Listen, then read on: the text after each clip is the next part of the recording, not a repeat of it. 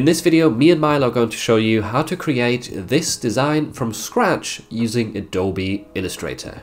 So here we are inside of Illustrator and the first step you need to take is selecting the ellipse tool from your toolbar or hit L on your keyboard and then you just need to click on the artboard, draw out a circle, then hold down Alt and Shift as well to keep it in these perfect circle dimensions. And um, now we just need to select a fill color for this. I'm going to start off with like a dark green and I will deselect the stroke. Uh, the colors don't matter just yet. We're going to change them later. But essentially what you want to do now is create multiple circles on top of this one. And to do that, hit Control C on your keyboard to copy and then Control F to paste that copy in front. You can now change the color of it to a slightly lighter green, for example, and then resize this while holding down Shift and Alt on your keyboard to uh, resize it down in the same proportions or in the same place. And that way we can do this and repeat this process multiple times. Control C, Control F, change the color, and we can create um, about five circles like this for our um, vintage sunset or rainbow, whatever you want to call it, um, that we will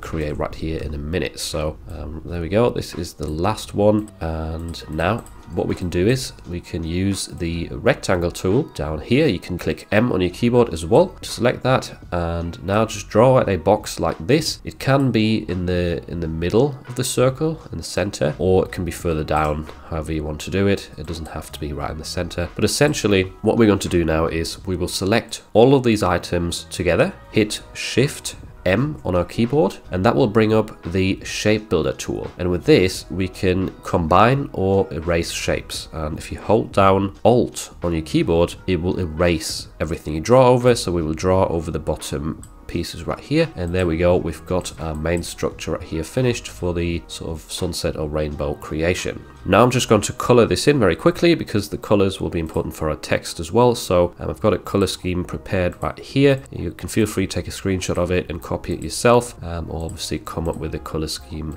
of your liking and I'm going to push this aside. Now the next step is going to be selecting all of our objects and grouping them with Control G and now we can start on actually adding the text. So this bottom bit is very easy. I'm going to use the type tool. You can hit T on your keyboard as well to do that. Click at the bottom right here, then increase the size of our text, and I'll put teacher right here at the bottom. Um, this font I'm going to use is Impressum Regular, which is a free font, um, very sort of quirky and fun, ideal for the teacher niche. Um, so just download that if you want to. Um, I will leave a link in the description to the free download link or obviously use a different font of your choice. This one, um, while you've got the font selected, hit I on your keyboard and we're going to sample the darkest color of a sunset, this top one, and then you can go to type, create outlines and actually scale this up properly. I do have my artboard in a very big size, that's why the, the non-outlined version of that text didn't scale up all the way. So that sometimes is the case with Illustrator. And now to add the nice sort of shaded text up here, which we're going to do once again with the type tool. And we're going to select a different font for this. Um, a free option that you can use here is called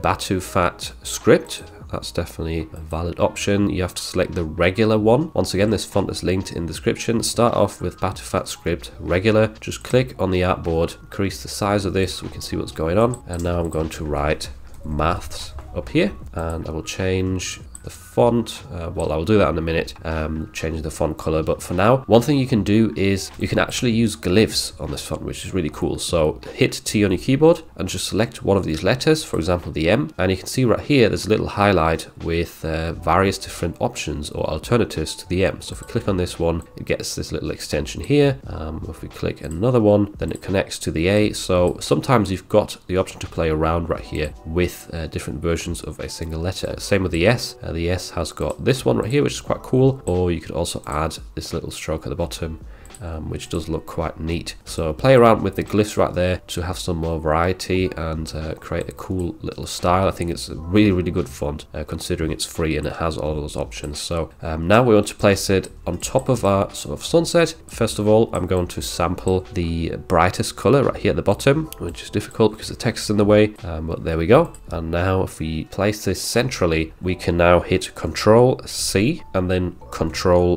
B to paste that text text behind itself. And if we now change it from regular up here in the font style section to extrude, we can see it turns horrible. and that's because we have to change the color on it still. So uh, while having the text selected still, hit I on your keyboard again for the eyedropper tool, sample the dark green or the darkest color on your sunset, and there we go. Um, we can now read maths and it looks really, really good. Um, if you did group your sunset like I told you to, you can now lock this by hitting Control 2 on your keyboard and now we can select this text and move it around like this. Um, really cool text effect that this creates. And we can add a little bit of um, a slant as well to this by heading to Object, Envelope Distort and click Make with Warp.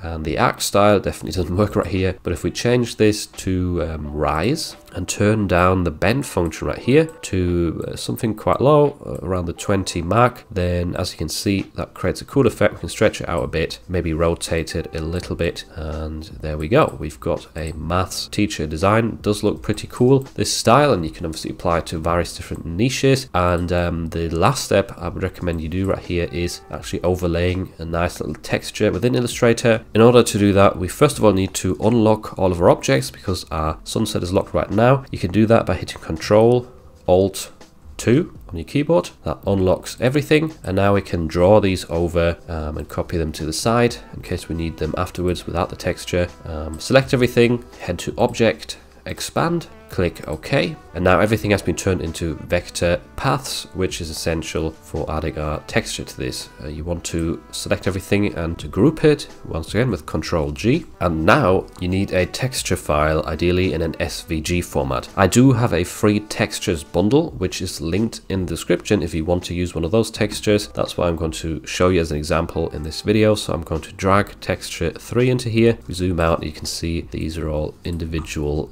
paths or um, yeah it's a vector texture essentially. So select all of these hit Ctrl G to group them and then we can drag them into our main document. And now what you want to do is overlay this onto your design. I'm going to rotate this by 90 degrees just because it matches the layout of the design better that way. Increase the size a bit um, so it covers the whole thing. And now if we select everything we can head over to the transparency panel and click on make mask. And now if you untick the clip function right here, then as you can see, we've got a really nice mask effect right here on our design. And you can even, if you click back into this and select the uh, opacity mask right here on the right hand side, you can even move your mask around like this and uh, therefore change the texture effect. You just have to make sure you don't sort of move it off, off the canvas, then that looks a bit wonky, but um, essentially it's cool to have the ability to adjust your texture once it's been applied with that mask trick. And uh, once you're done, you just have to make sure that you once again click out of the mask over here back onto your design otherwise you'll struggle to edit your design itself and there we go. That's it finished. I think that looks really nice. And um, obviously you can change the colors change the words around very quickly and uh, have a ton of really nice designs ready for various different niches. If you enjoyed this tutorial, then you would definitely benefit from checking out this playlist filled with Adobe Illustrator tutorials and also different tips on how to save time.